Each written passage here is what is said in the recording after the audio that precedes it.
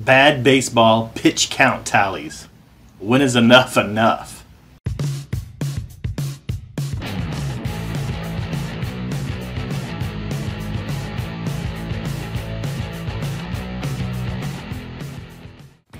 All right, guys. Chris Sloan here with Bad Baseball and SelectBaseballTeams.com. And it's a little bit nicer weather. Baseball's full effect here, so I figured I'd come outside and enjoy some of the nicer weather we're having here.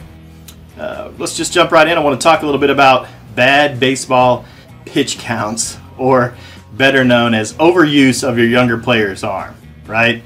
I see it in Facebook groups and conversations with my friends uh, at high school games that they're at, and it, it's really become, I, I, guess it's become the normal uh, to see kids just rode for 80, 90, you know, depending on their age, and upwards of 100 plus pitches in a game from week to week, which to me is ridiculous, right? Most of these teams have more than enough pitchers that that shouldn't be a problem. And so what I see is guys throwing around, hey, here's what the USA baseball regulation numbers are for this age group or that age group. And, you know, if you're using that as a guide, that should help you, right? Like start there, go see what they say. But the, there's a lot of things that those things don't really consider. And then unfortunately, uh, coaches and parents oftentimes forget.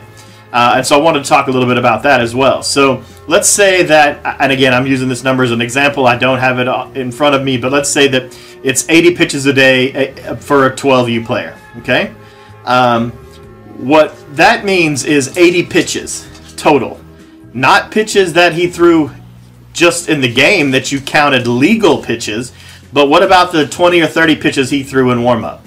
What about the seven or five innings he, let's say six innings he pitched and threw eight warm up pitches in each one of those six six innings? Now he's at 48 pitches and his 20 or 30 warm ups. He's at he's done for the day and he hasn't thrown a pitch in the game yet. So if he gets 80, I mean, what's he at? 55 or somewhere around 50, 60? I mean, you ultimately have to take all of that into consideration when you're talking about the health of these kids' arms. And you know, if it's a high school kid, I mean, obviously kids mature at different times, different ages. I mean, that, that all should come into play, you know, the size of the kid and that sort of thing. I mean, as far as like their maturity and strength and so forth. But the guides are there to help you, and you have to take all of that into consideration. A couple of examples of things that I can think of are uh, just this past week, some conversations on Facebook uh, with guys seeing a I believe it was a 10U, maybe a 12U pitcher, but uh, let's just say let's say 12U for sake of the argument. A 12U pitcher. He threw back-to-back days. He threw 84 pitches in one day and 120 pitches the next day. Okay, that's 200 recorded pitches or more in two days by a 12-year-old. Okay, why is that? Who would do that? Like What what is wrong with you? If you are that coach, you need to stop. If you are a parent and that is your child, you need to yank that child off the team right now. There's no place for that. Like that is you're damaging your son. If he wants to play past the age of 15 high school, he's going to have to have surgery. Another example that I can think of is a kid who played for a state championship team last year and had bone spurs taken out of his arm over the summer. So he had some issues and surgeries that had to occur in his arm. This year, with, with it, so within the year, he's had surgery. He's playing this year, and in two games, the first two starts that he had, he threw 97 pitches and 120 plus pitches. Ridiculous. The kid had surgery. Granted, it wasn't Tommy John's or something to that extent, but his arm is still tender and still in the healing process. There's no way he needs to throw that many pitches. I don't care if it's a high school game. At the end of the day, that that's all it is. A high, he's not getting paid for that, right? It's a high school game. It's just like these games where coaches pitch kids because they're getting a plastic ring or some fake WWE belt or some other crappy trophy. Stop it. It's not worth the kid. And if you were the coach of my son doing that, I can promise you, like it would come to words and it might get worse than that if I saw my son being abused in that way. He would definitely be off the team and not playing anymore and we would go somewhere else. If you're paying for that, you absolutely need to look elsewhere.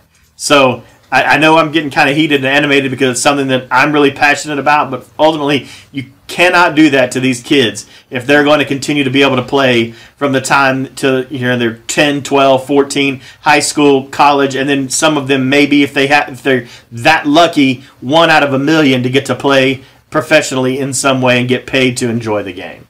So uh, hope you guys take that to heart. I hope you know you think about it and talk about it with your teams coaches and players um, you know if you guys uh, one more thing if you know if you're not familiar with with who we are. It's it's it's Bad Baseball is the YouTube channel here. We'd love for you to subscribe to our channel and leave comments. Let us know what you think. Um, but also check out our website, selectbaseballteams.com. It's where we help players and parents and uh, teams all get connected. We've got a great resource for parents now, uh, helping build a database of coaches uh, so you can find coaches that are offering services and uh, you can rank them, see how well they did, and that sort of thing. So it's not just services, but also how well they perform. Um, so, you know, we'd love for you guys to check that out again. That's selectbaseballteams.com. Uh, we've also got some other videos. I think they're going to be uh, to my right, my left. I don't know. One side here. Uh, there's some other videos that we post here. You can see some of the older stuff. You know, be sure to check those out when they show up. Thanks a lot, guys. Have a good week.